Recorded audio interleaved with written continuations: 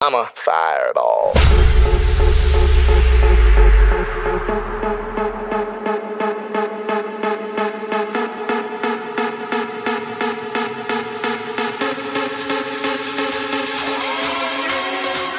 we are here at the grand opening of Copa Room and we are with the owner Sean. Sean, how are you? Good, excellent, excellent. This is a very exciting night for Miami Life Night.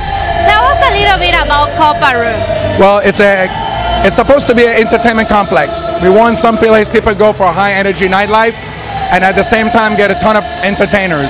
As you can see, we got dancers, singers, acrobats, impressionists. So when you come in, you're gonna get a little bit of everything. But on top of that, it's Miami's first and only all-inclusive nightclub. So with your ticket, admission ticket, it's complimentary drinks from 10 o'clock at night to 4 in the morning. Where the idea came from?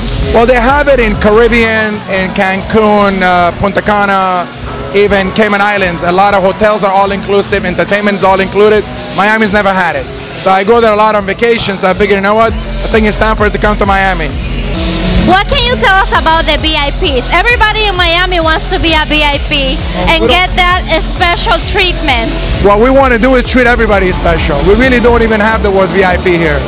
Everybody's together. There's not a velvet rope. So you come in, you let loose. We have a little saying that says, check your ego and your wallet at the door. Just come and have a good time. Everybody's a VIP here. That is great. What can we expect about the entertainment? What can we see? Well, they're all different. That's the whole point. We want to keep everybody on the edge. So you're gonna have all of a sudden some Pitbull and, and the, somebody that looks like Pitbull start singing Pitbull song. All the dancers will do the show. You might do Madonna, Michael Jackson. You do Marc Anthony. We do J Lo.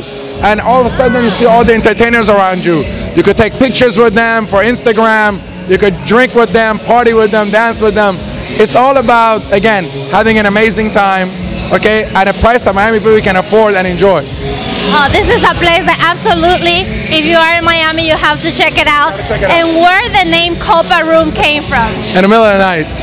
In the middle of the night. yeah, I used to like a lot of places, living room, dining room, red room, so I like that vision.